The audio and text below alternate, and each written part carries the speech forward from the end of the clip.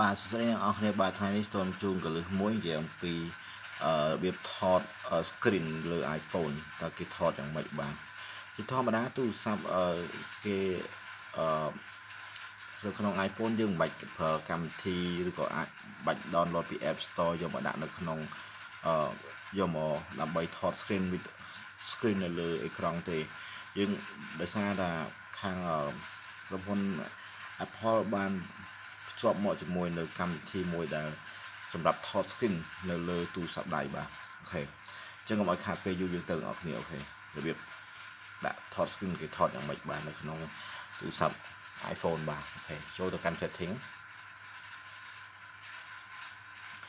បាទចូលទៅកាន់ setting ហើយយកពាក្យថា general OKនៅត្រង់ចំណុច general នេះគឺយកពាក្យថា restriction តមកយកពាក្យថា enable detection 1 2 3 4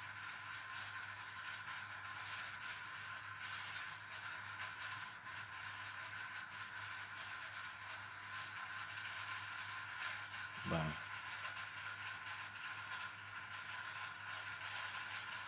OK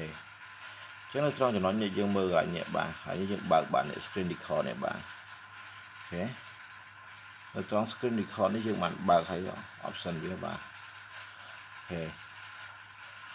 បន្តមកទៀតយើងយកមកកន្លែងនេះបាទកន្លែងត្រង់ចំណុចថាពាក្យថាអឺនេះ control center OK control center បន្តមកទៀតយកពាក្យថា customize customize control yes តមក យើង add អានេះយើងចុចកន្លែងនេះបាទ screen record នេះកន្លែងនេះសញ្ញាលេខបូកនេះពេលយើងចុចទៅបាទចុចកន្លែងហ្នឹងមកបន្តមកទៀតយើងចង់ថតឥឡូវយើងចង់ថតសកម្មភាពដែលយើងកិលនៅលើ screen តើគឺថតយ៉ាងម៉េចបាទអូខេអញ្ចឹងយើងយើងនេះយើង scroll មកយើងឃើញនៅខាងក្រោមនេះបាទអូខេតមកចុចថតហេចឹង ប៉ុណ្ណឹងយើងអាចថតបាននេះនៅត្រង់ចំណុចក្រហមឃើញកាឃើញទូរស័ព្ទយើងមានមានចំណុចក្រហមនេះបាទអូខេឥឡូវយើងសាកថាយើង play មួយឧទាហរណ៍ថាយើង play ឧទាហរណ៍ថាឧទាហរណ៍ថាចេះឧទាហរណ៍ថាយើង play នេះមួយចុះ